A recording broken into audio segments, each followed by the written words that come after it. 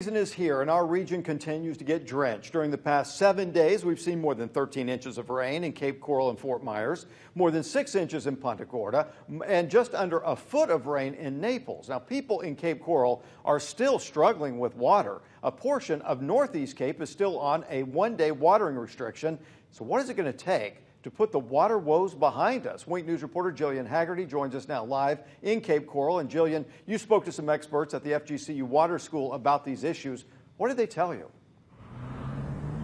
Russ, when I spoke with Rachel Rotz from FGCU, she told me when everyone's trying to use the same aquifer at the same time, it doesn't necessarily mean you're running out of water, but the pressure of that water is moving in all different directions under the ground, trying to get up, so it's just going to move very slowly it's not just the drought that's creating the problem, it's the increasing population and the competition for water. This means when you and your neighbor, who both struggle with water, are trying to use it at the same time, it's like drinking a milkshake through a straw. The pressure makes it harder to come out. And that's decreasing that pressure in the system and causing difficulties for houses to get that water out. We could have rain every day for the whole entire summer, and we're not going to see an improvement in the aquifer because it just isn't connected with the surface. But for Howard Bartels, who lives lives in North Cape Coral, he says the problem is being made worse.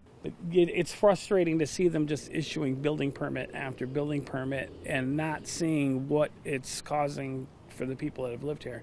And as the community keeps expanding and growing, Howard says instead it's just the almighty dollar of getting as many houses as they can here and you know they're they're building roads, they're building sidewalks, they're building parks, why don't we use that money and divert it and put the water in instead of building an amphitheater or whatever they're spending their money on, our money on?